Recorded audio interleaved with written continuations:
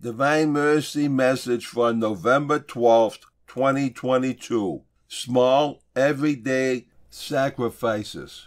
Oh, you small, everyday sacrifices. You are to me like wild flowers, which I strew over the feet of my beloved Jesus. I sometimes compare these trifles to the heroic virtues, and that is because their enduring nature demands heroism. From the Diary of St. Faustina, number 208.